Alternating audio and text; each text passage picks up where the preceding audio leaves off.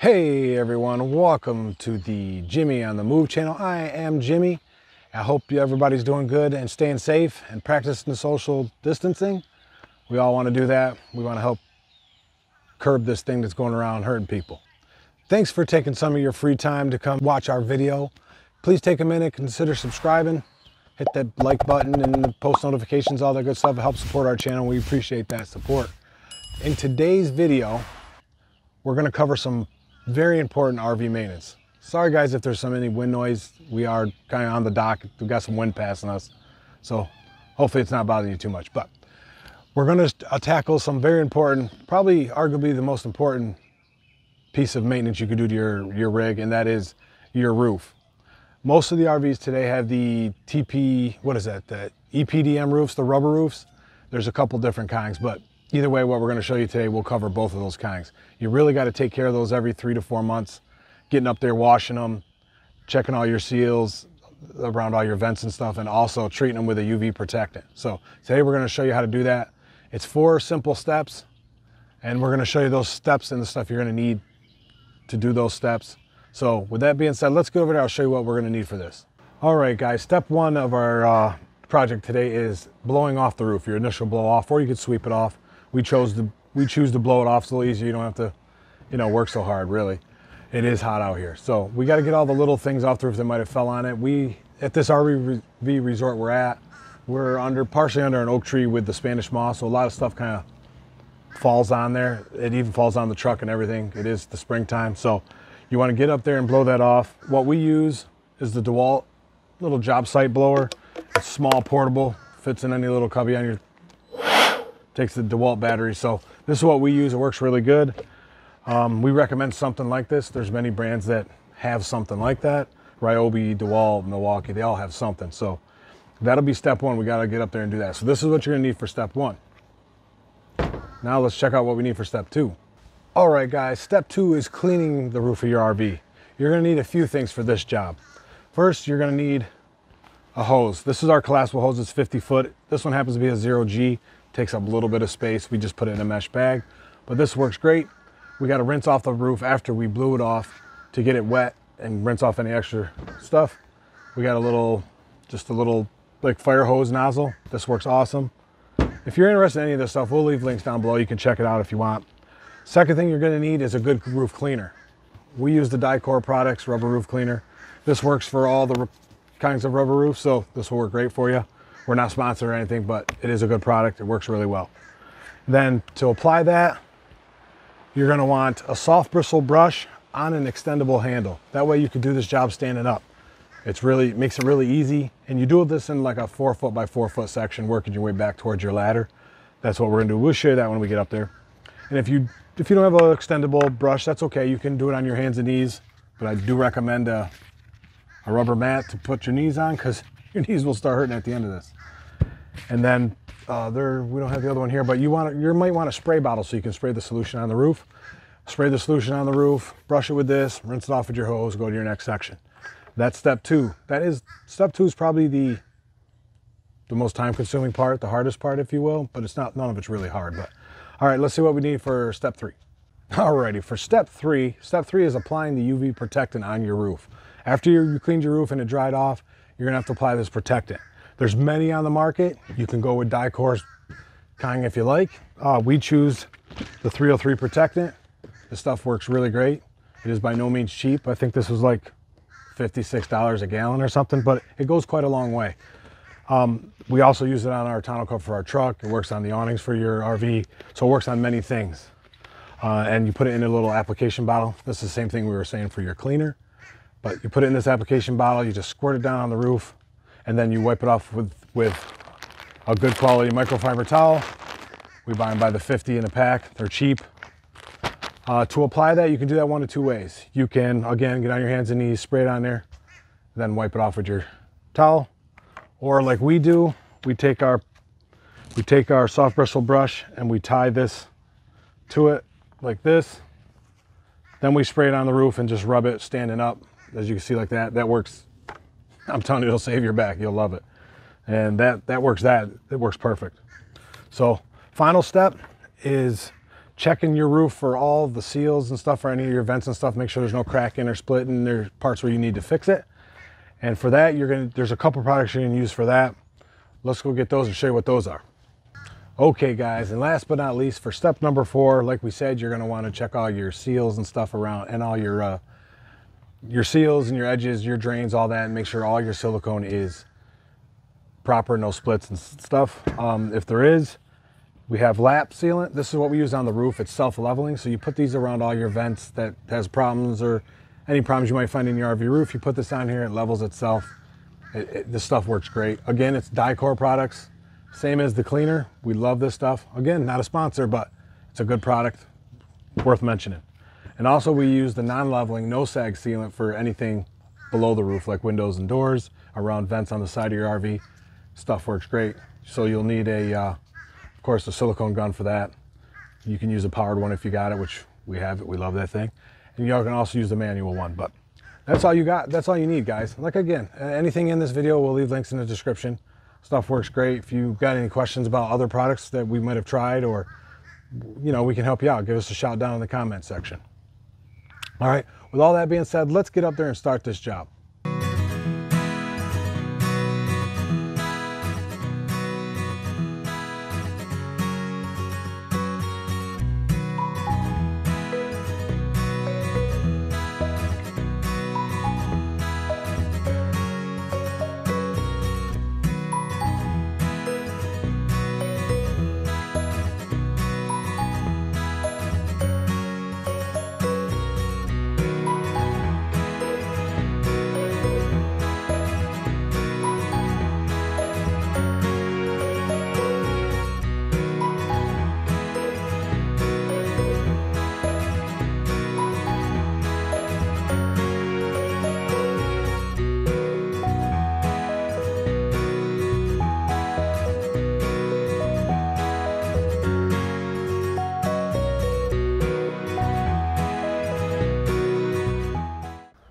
All right, guys, we are up here on the roof. We got our blower.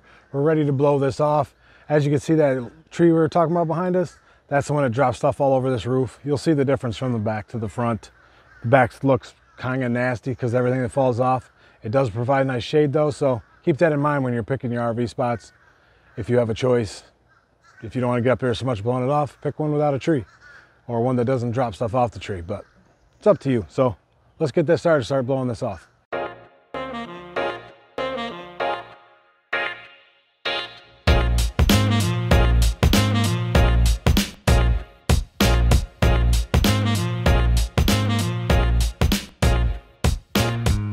Hey guys, okay, the, the, second step is is cleaning the roof. Now, after we got it all blown off, everything, the directions on the bottle will tell you, wet down your roof. We're using our hose, we're gonna wet it down.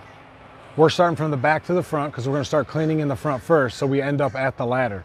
So we just go right down from there and then it's gonna dry. So let's start right here, rinse the awnings and the roof off, then we'll get up front. By the time we end up front, we can uh, get the cleaning going.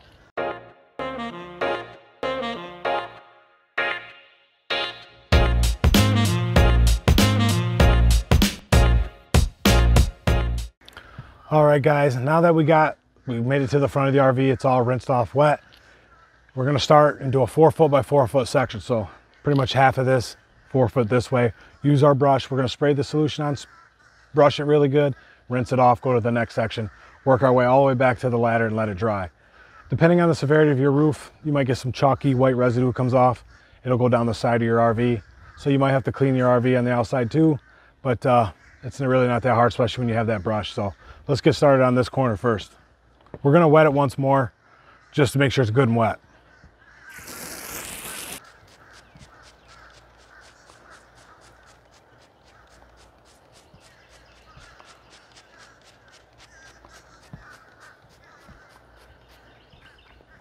You can see guys, we're just spraying it directly on our, uh, our roof in this four foot by four foot section. Get a good amount on there. That's why we put it in the squirt bottle. You can put it in like a little garden sprayer if you want. Something that comes out a little faster. It's up to you. This way we can monitor what comes out. So you get that on there like that.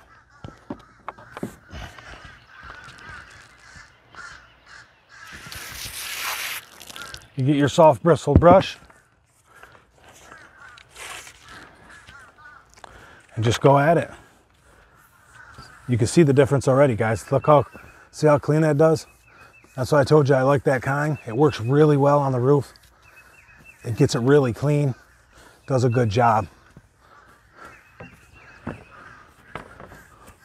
Remember, only a four foot by four foot section, so you're doing like half of the roof.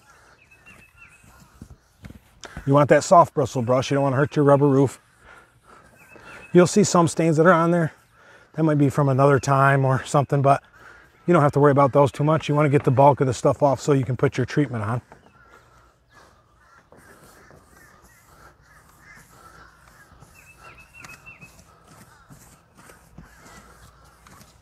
There we go, that's half.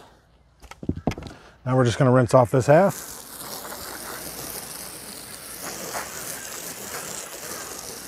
Look at the difference there, guys. It's like a day and night difference. So looks good. We're just gonna continue that all the way to the back of the RV, let it dry, then we can come up here and do our RV protectant. So let's knock this out and we can go to the next step.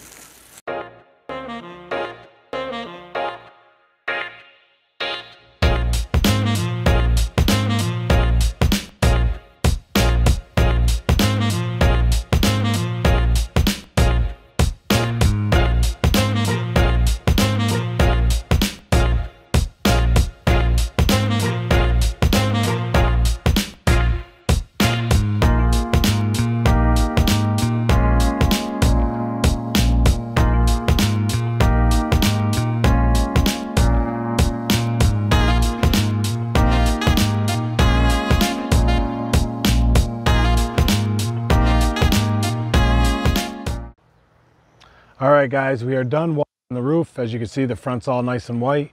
As you come back where you're under the tree, it's a little more stained. It would take a little more elbow grease than I'm willing to put in right now, but you get down there with a bristle brush, do circle motions. It'll lighten those up really good. The more you do it, the better it'll get. But uh, we're gonna get down, get a drink. We're gonna let this thing dry off and then we'll come up here and put the uh, UV protectant on here and show you how that goes. Okay guys, we're on step three of this process. What we're gonna do like I said, you can get on your hands and knees, spray it, and then wipe it. It is an option, but uh, what we're gonna do is we're gonna tie our microfiber to our brush. It's okay if your brush is a little wet because you're gonna really saturate it anyway. So make sure your microfiber is big enough. You put it over that like that, flip it over. You should have enough to get a tie on it on each end, like so. Just enough to hold it on there so you can apply it standing up. I mean, if you got, you know, a teenager or something, you want to get up there and have them work, hands and knees is fine. But if you're a little older, you're, you know, being on your hands and knees hurts your back and your knees. So this is the best way.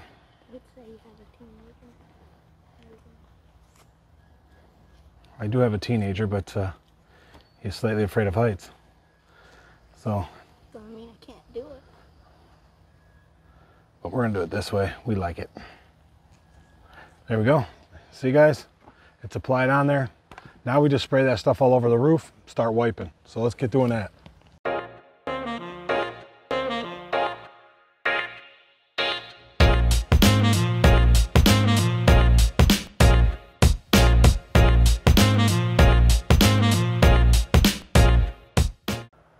Okay guys, here it is, the final product.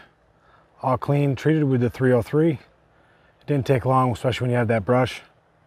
Uh, note is to make sure your gutters are cleaned out of water. Otherwise, when you try to do the edge, your, your uh, microfiber will suck up that water. I had to switch mine out a couple times. And I also cleaned the awnings once more while we were up here. They were already 303. The UV protectant was put on those a week ago. So now we're gonna get down uh, we well, the fourth step, sorry about that. The fourth step, like we mentioned, is to check all your seals around the edges here. Make sure they're all good. Ours are all, we inspect all ours, ours, all of ours. They are all good. Uh, we, we've only had this three months now, so the dealer did a lot of that. Uh, so we're good. We're gonna get down now that we're done up here. We're gonna wash the side of the RV because all the stuff you rinsed off the roof went down to the side of your RV. So you're gonna have to give that a quick wash and then you'll be done and protected for at least, I don't know, I, me personally, I'm gonna do it every three months, but uh, they say you're good every four, five months.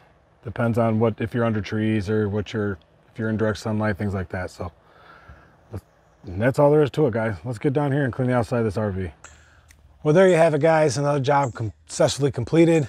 You can rest assured that your roof is good for the next three to six months. It's really not that hard a job. Just set a few hours aside, you know, for if you run across any problems, want to stop for a drink or something if it's a hot day.